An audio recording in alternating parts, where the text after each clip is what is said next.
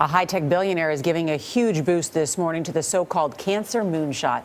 Napster co founder Sean Parker is donating, donating $250 million to support immunotherapy research. His project will bring together some of the world's biggest cancer research centers. Vladimir Duthiers of our digital network, CBSN, is here with Parker's big idea. Vlad, good morning. Good morning. Last June, Parker launched the Parker Foundation with a $600 million donation and the goal of creating large scale systemic change across multiple fields. His donations have backed research from everything from cancers to allergies.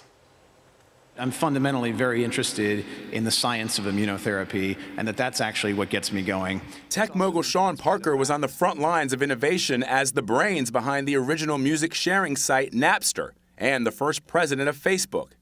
Today, he announced he's throwing $250 million behind the growing field of immunotherapy to fight cancer. Immunotherapy uses the body's immune system to attack cancer cells. The Parker Institute for Cancer Immunotherapy will bring together six top academic cancer centers. They'll collaborate to get treatment to patients sooner. We find ourselves here tonight at the epicenter of a movement in cancer research that I think many of us believe actually has the best chance of eradicating cancer once and for all.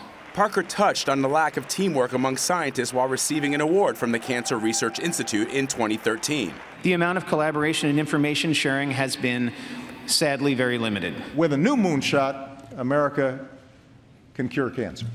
Cancer research has been a major goal of the Obama administration since January's State of the Union address. President Obama tasked Vice President Joe Biden with leading the country's fight against the disease after his son Beau died from brain cancer. For the loved ones we've all lost, for the families that we can still save, let's make America the country that cures cancer once and for all. Parker's influx of funding comes on the heels of one of the most prominent success cases of immunotherapy. 91 year old former President Jimmy Carter's cancer is now in remission. Parker's hope is to make that treatment that saved his life available to more cancer patients, Gail. That sounds like a really good hope. Thank you very much, Vlad.